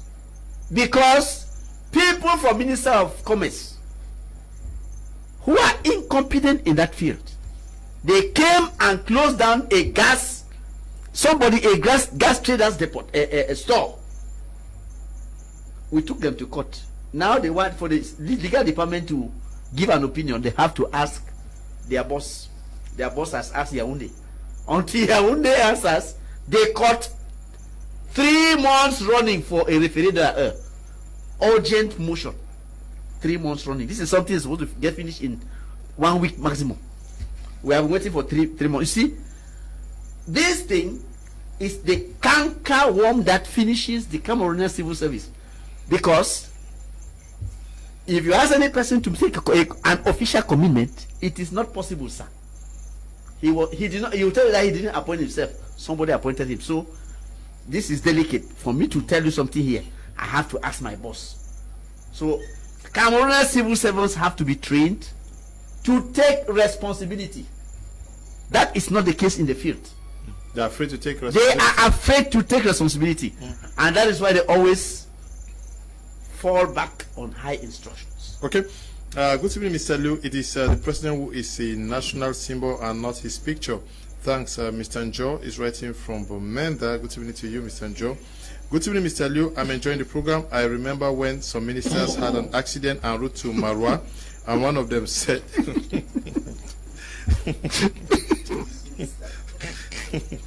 one of them said, really funny. Okay, Apostle Ambiva Changwa. Yeah, uh, quite funny. The um, Apostle Ambi Valentine Ngwa. Now, is this not also uh, because of politics, where uh, the president happens to be a, the national chairman of the ruling party, and when even elites, because Ima Nkong is is raising the issue, elites are also prone to that. That you supply uh, borehole to your to, to to the people of your village, you say it's a gift from, From the president of the republic, and that um, normally what the government is supposed to do, is provide schools.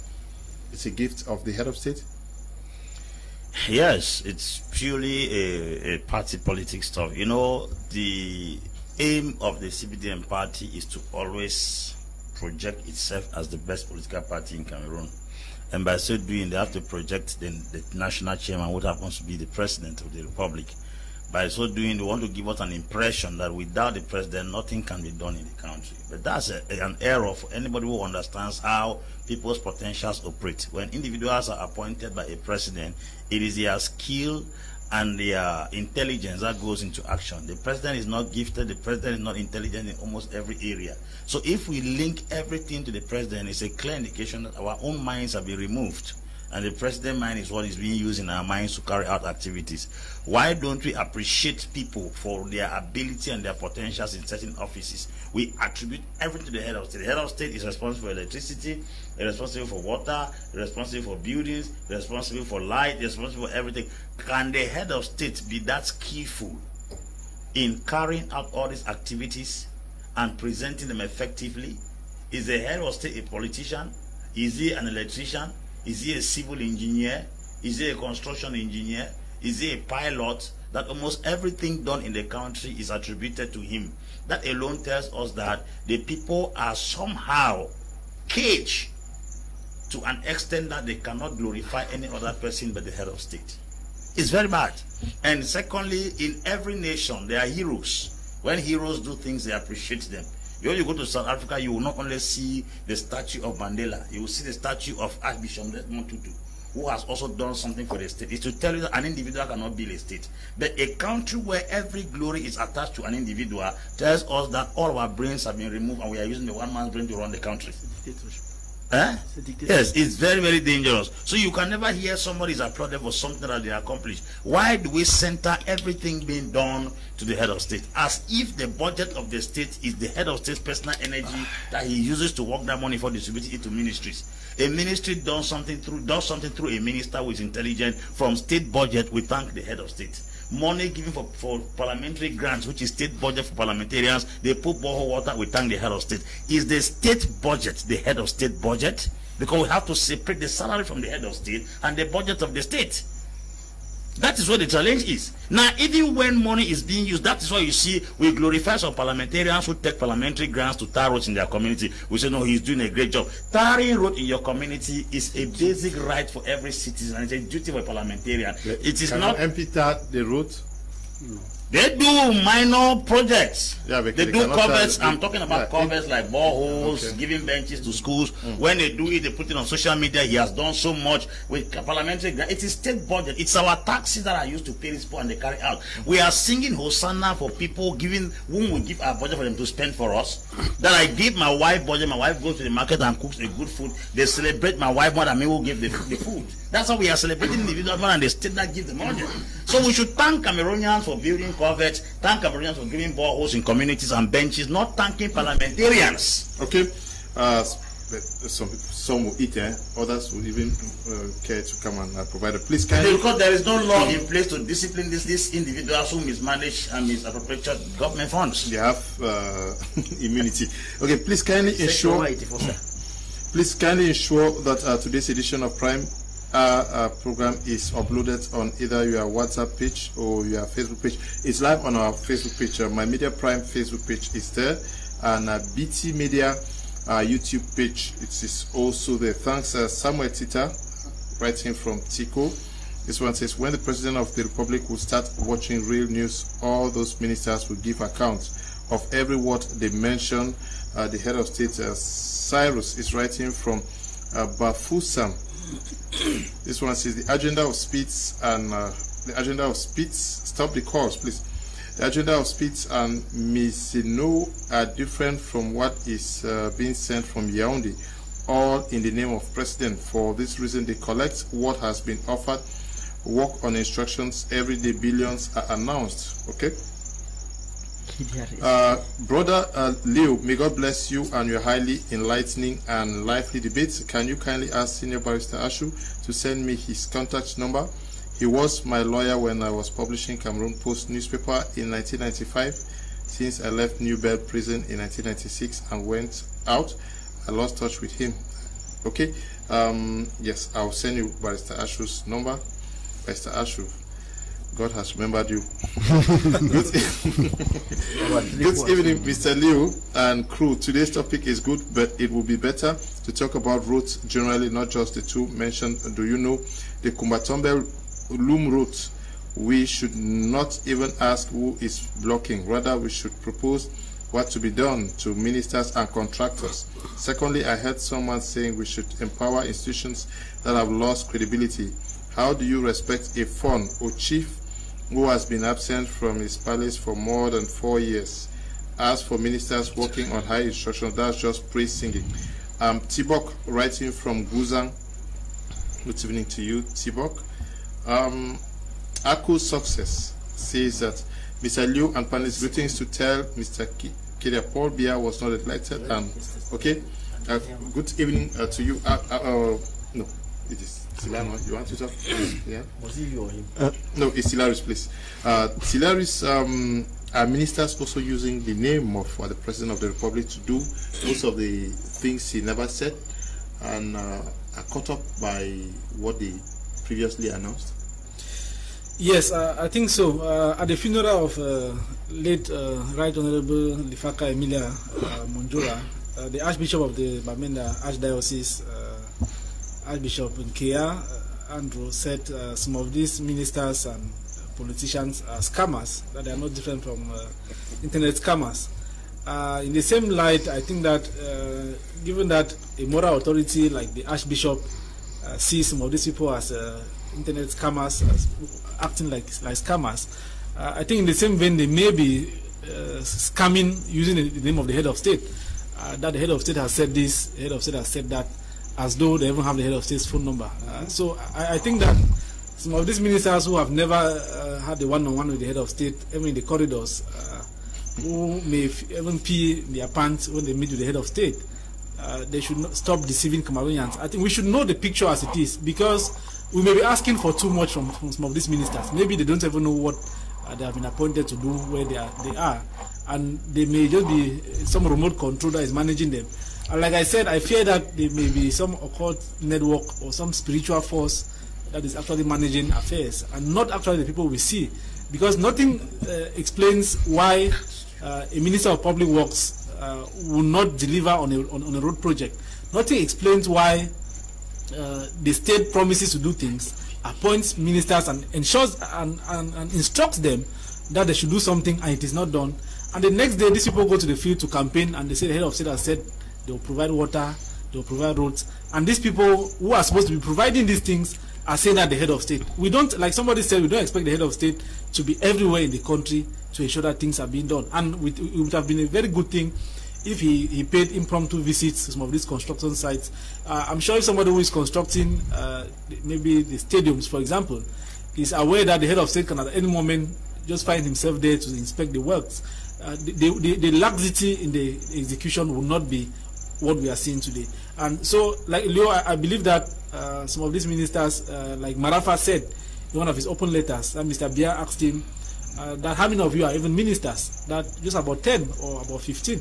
That the rest are, are civil servants to whom I've given titles and, and, and, and portfolios. So it means that we don't have as many as 62 ministers like uh, the, the, the, size of the government indicates that we may have just about 10 15 ministers and the rest are civil servants who are just as confused uh, even how to manage budgets because from the audit report you see that some of the things that they are accused of doing are managerial errors. They are blunders. That they don't people don't master the procedure and they find themselves in, pro in problems. They don't master the law they find themselves, themselves in problems. Okay. and the issue of high instruction from the head of state is for me because the head of state has placed himself above the social contract. He, he, he no longer thinks that his contract was signed with the people and that these people deserve an account of how the state is managed. Can we have a balance sheet? That President Biya has been in power for this long. Can he go to parliament and address the Cameroonian people in parliament and say, I took power this day, we had 2,000 roads, I've given 3,000, we had this, I've done this. Because all the problems we have today are problems of development. Of course. Can we have development in Cameroon? Okay, can we have a development? But uh, this issue, there was uh, some nuance about uh, national symbol, the president of the republic. Yes, uh, the, the, the country decides how they want to use their national symbols. Okay. Like the emblems of the country is mostly used by the defense, uh, the defense forces. Cameroonians normally don't, don't use it. So if the uh, Article 10, uh, sorry, Article 5 of the constitution that says that the 5 sub 2 that the head of state is the symbol of national unity of the country there is no other way to depict the fact that he's a symbol of national unity than to put his pictures in state buildings to remind us of the fact that he's a symbol and just like the national flag to remind us that we are under the green red yellow with the, uh, the, the golden star and that we have to pay tribute to the state these are the ways various ways and if somebody thinks that the head of state is not the national symbol, then they should call for a repeal of the constitution. Mm. Because it's only when the 1972 constitution, as amended in 1996, okay. is okay. repealed that we can now deny the head of state uh, role or his yeah, uh, symbol add, of national unity. To, to as that. My question, my question to you is: uh, at the beginning of uh, the COVID fight, almost everybody who spoke said uh, we had instructions of the president of the republic, and we are where we are today uh, we saying that the president asked them to. What's the problem? yes, we are talking about high instructions here. Glaring example is COVID. When this was done at this stage, it was high instructions from the president to this level, high instructions, high instructions. How do we explain what now? There are two. Uh, there are two different things: giving, giving instructions and executing instruction. Okay. The, the, the, the, president has given high instruction, mm -hmm. and those in charge are executing the high instruction. Yeah, is the same instructions. Yes, Excuse me, sir. Okay. How uh, is the instruction that no respect? Mr. Ambe is the same as you ask your child to clean your dress, and the child will clean it the way that child wants it. But all is that you give an instruction for that child to clean your dress. Okay. Now, we are talking about the importance of the head of state being a, a, a national symbol, symbol, symbol of national unity. national unity. And I'm confused why Senior Barrister Ashu is looking around. even in Nigeria and most countries, it is there. In the police station is there. In minister's office is there. So it's not only in Cameroon, it should not become a problem. Then to even go further, we are in a democratic country and everybody has his right and freedom to thank who he wants to. So if some of us we want to be thanking the head of state in the morning, afternoon, and evening, it is our business to thank him. So it should not be a problem. And we'll keep on thanking him for what he has done. And that is it. It is our democratic right. We should learn to accept it. If you don't want to thank him, fine. You are, it's even good you have your own party. And I also think that your party members are also thanking you. We are not complaining when your party members are thanking you. So allow us to thank our head of state, the president of uh, the, the, the chairman of our party. We'll keep on thanking him for the good work he has done. So uh, that's where I would like to end there today. we thank Okay. the head of state. Very, very little about the question I asked you. Eh? Thank you. Okay. good evening, Mr. Liu. Your program is good. Uh, keep up. I disagree with the speaker who uh, said the picture of the judicial and legislation should be put in public just like that of the president. That is bad faith because in the United Arab Emirates, only the president picture is made public everywhere, coming from Prince Nasako Daniel Molundo, writing from uh, What was he uh, from Buea, of the state is- very long time, my friend. Uh, good evening, Mr. Leo. Great, great barrister Ashu. For me, I lost his contact. I am uh, the one Elvis from Douala. Uh, Elvis, I just sent you Barrister Ashu's number. You can, you can get to him. Uh, things cannot work because we take uh, someone that has studied agriculture and put in finance. More for Elvis, writing from Douala. Good evening to you, Elvis. Good evening, Mr. Liu. Is Jacqueline from Kumba. I wanted to ask a question to that man who says Amber are the people hindering the roads construction. How is if he is looking for a position in government, he should come out plain and stop giving blames to uh, other people. Can he show where the boys are? He should ask a government to send military to guide them to work if they can guide and bring Brazzaville to come down. Why can they not do the same? Okay? Um, yeah. That's true reason why Anglophones are fighting. Mr. Leo, the sound quality and discrepancies are worse on Facebook. Please focus on speaking directly to the microphones. Let's see. Nembo, um, yes, the sound problem today has been very, very bad. We hope that we work on it uh, against tomorrow. We unfortunately have to end at this juncture. Senior Barrister, thank you for coming. Thank you, Mr. Leo. Thank you, fellow panelists. Thank you, televiewers. It was quite a rich, rich debate. I hope uh, in the nearest future you have the kind heart to invite me again. Ah, you are going to be there. Panelists have, uh, or the audience has been disturbing me until some people thought um, you were bad from coming here. We bar nobody from coming. Thank you for coming. Mr. Apostle. Leo, let me bail you out. I was, I was very ill, Okay, and I'm just, I'm barely out of it. okay. Thank you very much. Thank you for coming too. Thank you, Mr. Leo. Thank you, Cameroonians, for giving us your attention and to listen to us educate you. Kedia said that the president appoints ministers based on moral values. We'll talk about that in the next edition. Thank you. Thank you to Atia Tilaris for coming. Well, thank you very much, Leo. Uh, I also want to thank the head of state uh, because I took my second dose of AstraZeneca vaccine on Monday. In some countries, uh, people have to pay to collect the vaccines, but the head of state has made it that Cameroonians can collect for free. And I encourage everybody who, who is willing uh, to go and take the vaccine uh, against COVID-19. Uh, uh, there's nothing. I've taken the vaccine. I've taken the second dose. Uh, nothing has happened to me and I think that it will not happen to anybody.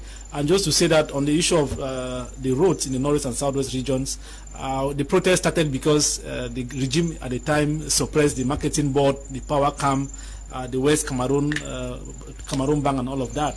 And we cannot, at this point, uh, knowing all what happened in 1990 when roads were burnt and how it impacted on us, uh, be impeding uh, development, be stopping the projects. Let us allow the state, let us allow government through the World Bank funding and all of that to construct these roads. Let the non-state armed groups not interfere so that we can now know if government is showing bad faith or if it's embezzlement or something else because they should not be the reason why this road is not constructed. I think that the non-state armed groups should uh, make way for these projects to be, to be realized because all what they are fighting for is that development should come to the northwest and southwest regions. And if the money is there and they instead leave it to be embezzled or siphoned or misappropriated, there will be a very bad Okay, thing. thank you for coming, uh, Robert. Thank you very much, and also uh, I would like to choose, take this opportunity to thank the head of state, the chairman of my political party. It is through his high instruction uh, given to the Secretary of Communication and through Professor Boyomo that I'm here today to speak on behalf of uh, the head of state. It's a pleasure to be here. Okay, we equally want to thank you all who took time off to watch the program. We are very sorry for the sound issues uh, in the course of the program. I myself, I got so agitated and uh, to try to get the technicians to fix uh, the issues. We want to thank uh, the production team. Stay blessed. Bye bye.